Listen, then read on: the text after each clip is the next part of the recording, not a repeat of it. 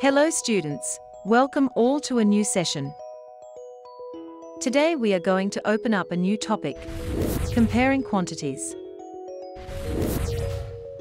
John and Tom got five pieces of cake. John took two pieces and the remaining three were taken by Tom. While comparing their pieces, Tom has more cake than John. It can be expressed as a fraction. Tom took 3 out of 5 and John took 2 out of 5. Here we compared the number of cake pieces. This comparison can also be done by using percentages. We know the words percent means per 100 or for every 100. Here, Tom took 3 out of 5. Let's see, how can we convert this into percentage? For that, Find the value in percent, or per 100. So we have to change the denominator as 100. For that, we have to multiply the numerator and denominator by 20. Because 100 by 5 is 20. When we multiply with 20 by 20, we get 60 by 100, which is equals to 60%. Tom has 60% of the cake. Same way, John took two pieces out of five. 2 by 5, multiplied by 20, by 20, equals 40 by 100, equals 40%. John has 40% of the cake.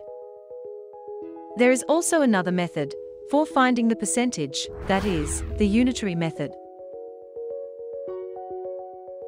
For example, Anu's scores in a test is 18 out of 30. Her percentage is her corresponding score out of 100. Now applying the unitary method. In a 30 marks test, Anu scored 18. Therefore, in a 1 mark test, Anu would score 18 divided by 30.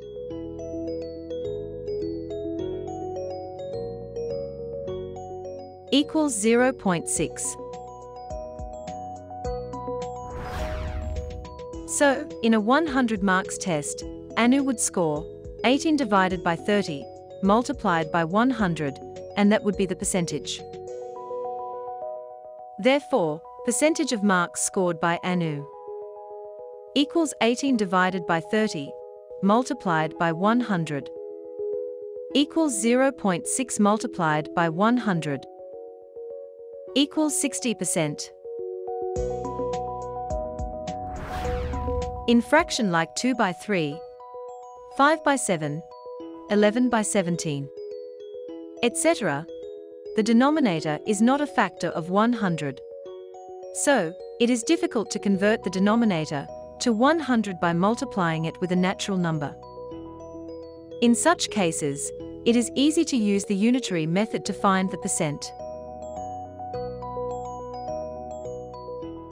Let's see an example. Convert 5 by 7 into a percentage. First, we convert the given fraction to decimal form and multiply it by 100. 5 divided by 7 multiplied by 100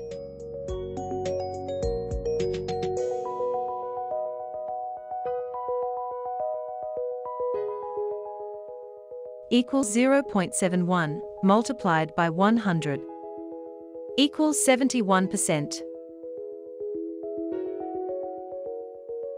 Let us do another example.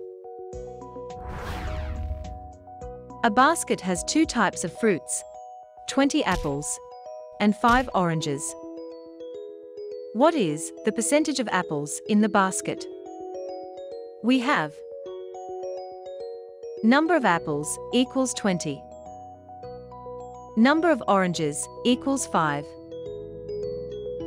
Total fruits equals 25. Out of 25 fruits, the number of apples equals 20 by 25. So, the percentage of apple is equal to 20 by 25 multiplied by 100 equals 80%. Thus, the basket has 80% apples. Let's have a quick recap. Today we discussed how to find the percent of numbers using two methods. First one is convert the denominator to 100 and find percent. The second one is unitary method. Before winding up, let's check how much you understood by doing an activity. Rishi took a science test and got 32 correct and 18 incorrect answers. What was the percent of correct answers? That's all for now. See you all in the next class with another interesting topic.